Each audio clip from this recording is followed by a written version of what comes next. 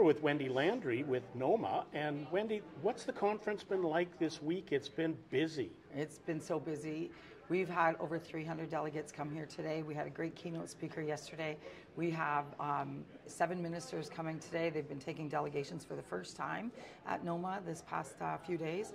And so it's been a fabulous turnout. The exhibitors were great. It's just been overall really, really good.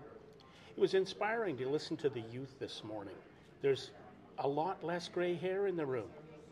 You know what? The youth program, I was in tears. It warms my heart. It's uh, um, obviously I'm mentoring uh, the youth fellow from AMO as well as we have a Shuniah student counselor who was on the stage this morning as well.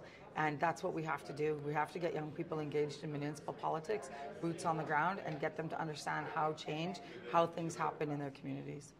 You're also looking at running for president of AMO. What's yeah, I've been what more readers and viewers need to know? I um, have been officially nominated to run for the president of AMO, which is the Associations for the Municipalities of Ontario.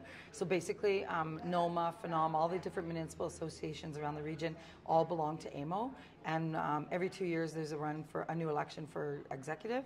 And this year, uh, I'll be running for the president of AMO, which takes our northern concerns to the provincial level. So I'm already at the MOU table. I'm already on the executive. So it's just taking it that one step further of being the uh, president of the AMO. And um, we haven't had a president at AMO since uh, Ken Boshcoff in 2004. So it's our turn. It's our turn.